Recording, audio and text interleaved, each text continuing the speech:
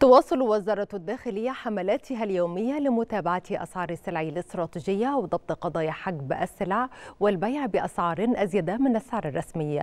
وتمكنت الداخلية خلال 24 ساعة من ضبط 568 قضية تموينية مستندية وعينية بمضبوطات بلغت 730 طنا.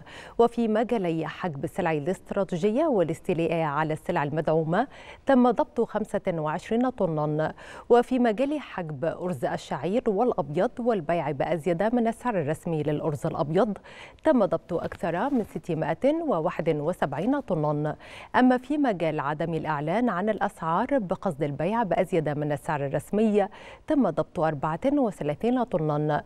وفي مجال قضايا المخابز تم ضبط 912 قضية من بينها 192 قضية خبز ناقص الوزن و196 قضية خبز غير مطابق للمواصفات.